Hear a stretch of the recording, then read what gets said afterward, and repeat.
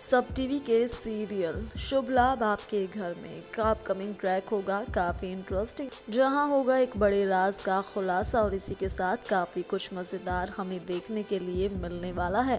Well यहाँ आप सभी अब देखेंगे कि आशा और श्रेया इन दोनों ही खराब हालत में घर पहुँचने वाली हैं।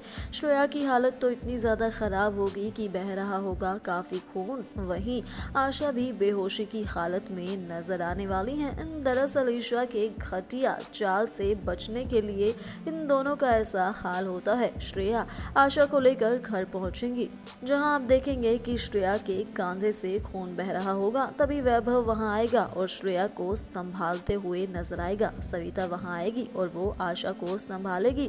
एक तरफ़ आशा की हालत भी काफ़ी खराब होगी तो दूसरी ओर श्रेया की हालत भी नाजुक नज़र आने वाली है और सविता उसका ख्याल रखते हुए दिखाई देगी।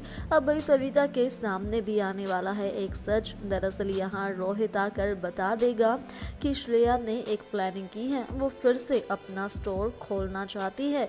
ये सुनने के बाद सविता भी होगी काफ़ी ज़्यादा खुश कि वो फिर से अपना काम शुरू कर रही है।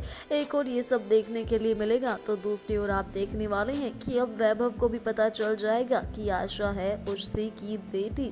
जी हाँ सविता और श्रेया दोनों ही आपस में बातें करते हुए नज़र आने वाली हैं। जहाँ सविता कविता श्रेया को यही कहेगी कि उन्हें बताना ही होगा, वैभव को पूरा सच शो का अपकमिंग ट्रैक काफ़ी इंटरेस्टिंग होगा, क्योंकि श्रेया के बाद अब वैभव के सामने भी उसकी बेटी आशा का सच आ जाएगा। इन सब के बाद क्या नया ड्रामा होता है, ये जानने के लिए देखते रहिए सब टीवी पर शुभ लाभ आपके घर में।